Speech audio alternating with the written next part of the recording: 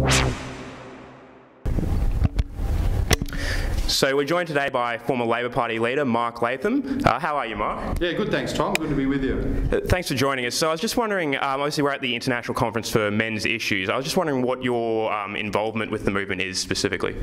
Well, I've been a voice over many years to say that there's a lot of men's issues that need to be addressed. Uh, I lock horns with left feminists as often as I can because uh, you know they've got the wrong perspective and uh, they haven't recognised the many advances for women in, in, in Australian society, and, and, a lot of the issues of disadvantage now are about uh, men. So I try to articulate those as often as possible, and I think you know it doesn't really matter male, female, and all this other baloney about identity politics. If there's an individual in need or a small group in need, then on fairness grounds, you've got to try and help them.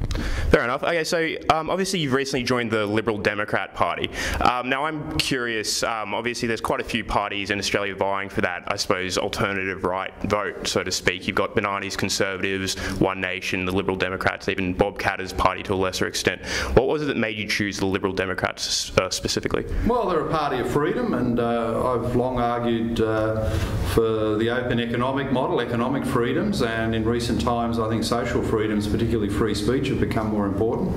So the last thing I wanted to do was ever go to a party that had restrictions on uh, debate, restrictions on speech, or restrictions on on, on social activity. So uh, I like the Liberal Democrat philosophy and and very happy to be part of it. And would you say that you identify as a libertarian? Yeah, I've always uh, been a small L liberal. I was when I was inside the, the Labor Party, particularly on the economic agenda and all the social issues that have come up recently. I think um, classical liberalism and libertarian ideas have a lot to offer. The average Australian is after more freedom instead of identity politics, PC, social engineering, cultural Marxism, all the things that have been running through our institutions. Okay, and um, obviously you you know you do have a background in the Labor Party, um, and you have written books discussing, I suppose, the toxic culture that we see within mainstream politics in Australia. I was just curious to understand um, a little bit of the background on that, and where specifically do you think it was? At what point in time did the Labor Party start to go off the rails to some extent?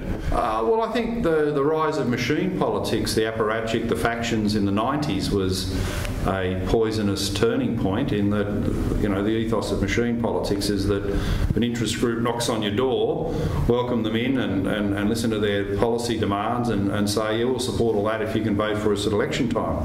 So Labor's been overwhelmed by machine politics and interest groups, whether you're talking about left feminists or environmental groups or ethnic groups or identity political groups. And the interesting thing that's happened is that the Liberal Party, probably over the last 10 to 15 years, has also been infected by machine politics. So the same interest groups that have um, uh, consumed Labor politics have, have, have, also had a big influence inside the Liberals. So you're not, you're not getting any difference now between Labor and Liberal Party politics. They've become almost identical because they've been overrun and caved in to the same type of interest groups. So, uh, you know, you look at the last budget, for instance, uh, tax and spend and debt and deficit, Australia in large parts become a one party state. So supporting alternative uh, third party forces has become more important than ever.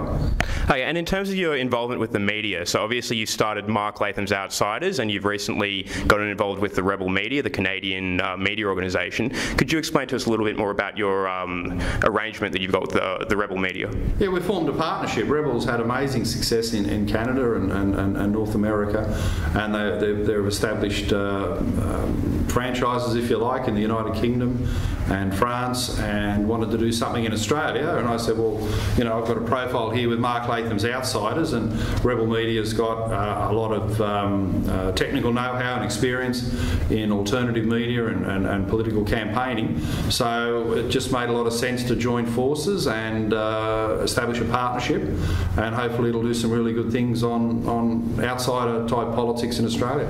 Okay, and in terms of, um, I suppose, what you're doing in the longer term, obviously you've got your media interests going on, but you've also obviously uh, rejoined the, uh, I suppose, the political scene by joining the Liberal Democrats. Where do you envision yourself in the long term? Do you want to be a journalist, or are you looking at a return to the uh, political arena potentially? Well, I've never really been a journalist, a commentator. I, I think there's, there's, a whole bunch of important issues where you don't hear the other side because of the dominance of mainstream media. Mainstream media in Australia is very restrictive now. There are certain subjects that are taboo, certain opinions that uh, aren't aired, certain views that they're uncomfortable with.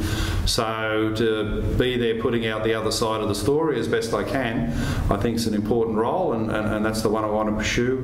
With the Liberal Democrats, I'm just a member. I'm not uh, necessarily committed to running for Parliament again. The opportunity might arise, but it's not uh, it's not something we're working out in the immediate uh, foreseeable future. Hey, Mark Latham, thanks for your time. Pleasure. Thank you.